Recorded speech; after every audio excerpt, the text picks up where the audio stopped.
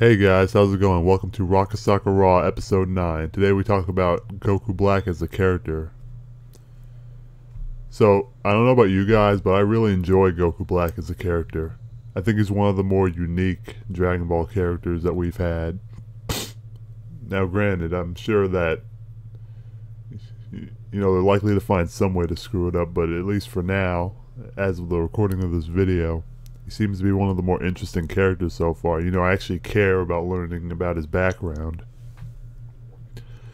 And you know, I remember when he first premiered and how uh, excited everybody was. And I even remember, I even remember before that, you know, people were even speculating that there might be an evil Goku arc or something.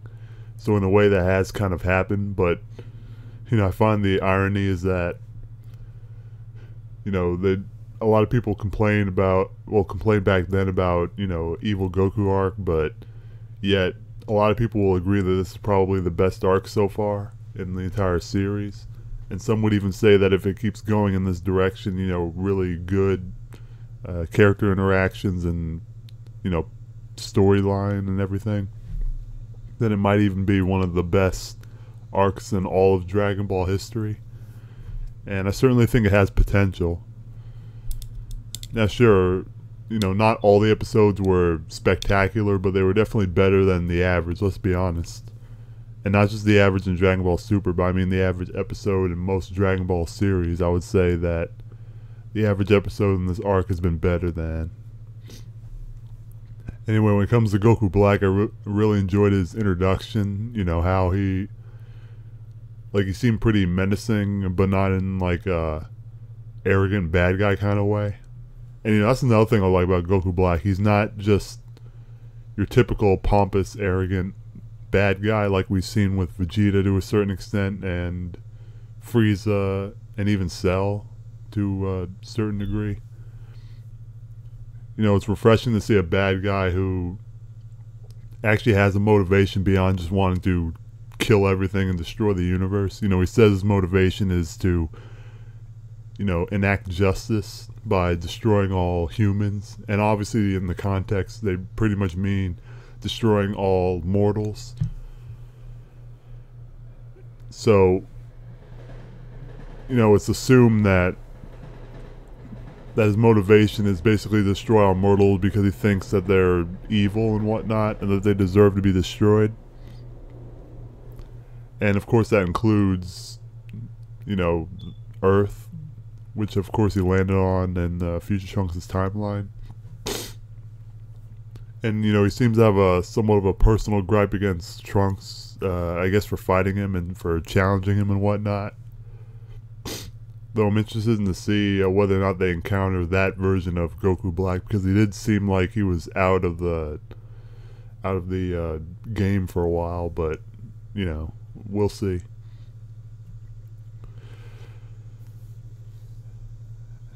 Now, another thing I really enjoy about Goku Black is his uh, techniques. You know, I notice that while he does have unique techniques like that, you know, that yellowish, uh, you know, black orb attack or whatever, he also has an attack that's very similar to the Kamehameha, except it's, you know, purple instead of, you know, blue and unfortunately can't turn Super Saiyan yet. But you know they've been leaking spoiler. Well, people have been talking about spoilers that his hair color might be pink. Now, briefly on the whole pink hair, I like I actually don't mind it that much. There's some people that seem to have a problem with it for some reason, but you know I actually think that uh, it's very Toriyama.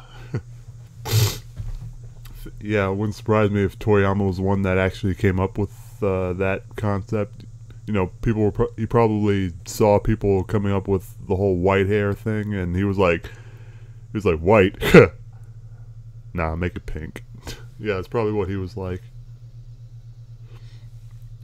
So yeah, it definitely doesn't surprise me that they decided that Toriyama decided to go with the pink hair instead of the white hair because white would have been too obvious since he's already dressed in black and since there's all these pictures of him as a Super Saiyan with white hair and everything.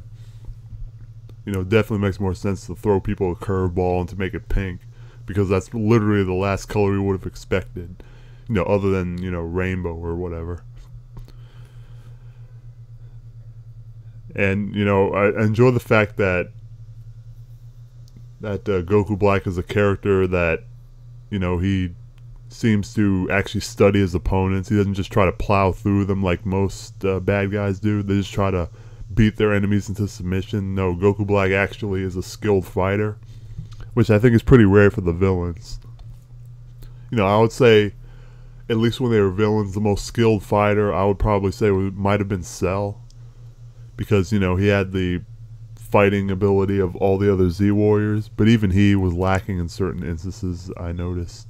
You know, I think Goku was still a superior fighter in skill to Cell. It's just Cell was superior in terms of power and his uh, list of abilities. But uh, Goku Black, I think, is one of the few characters that is a truly skilled fighter that's also a bad guy. Because usually the really skilled fighters I notice are the good guys, and you know the people that are in between, you know Beerus and Whis and whatnot. So it's refreshing to see a villain that, you know, he analyzes his opponents and he fights them uh, according to what would be the best option and not just try to plow through them. But then again, he can't really plow through them because, you know, he's uh, weaker than Goku. But heck, even with Trunks, uh, he didn't really try to plow through him. He was just he was analyzing the way Trunks was fighting and was trying to fight him in the best way possible. And you know, he's tried to learn from his mistakes and whatnot. You know, I really enjoy that kind of uh, aspect to him, and I also I also like the fact that he gets stronger uh, as of. If I'm not mistaken, I think he said he gets stronger as the fight progresses. So it's sort of a real version of Broly, I guess. And I say real because you know a lot of people they misunderstand when they when Broly said, you know, my power is rising, overflowing. What he really meant was his power was near its limit. It, if not, it was exceeding its limit, so he let go some of his power. Now, sure, I used to be one of those people who believed that his power constantly increased, but after, you know, reading the line in uh, Japanese, I realized that, you know, he wasn't talking about that. He was talking about just letting the power go from his body because there's too much of it.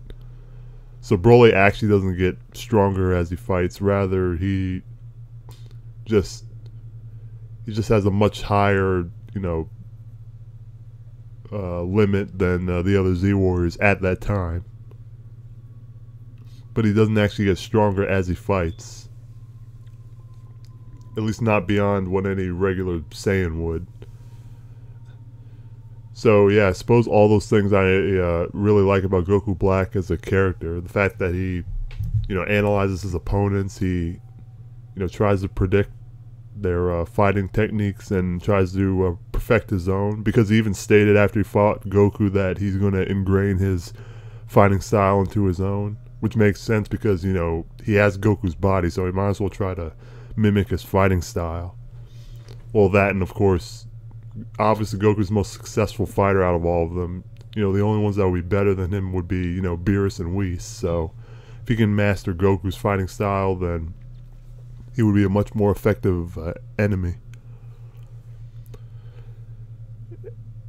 So I suppose I look forward to seeing more of Goku Black and learning more about his origin. It's definitely one of the more interesting origins so far. And considering we don't know that much about the previous villains that have come about, you know, they just say a few lines about them and maybe one or two flashbacks.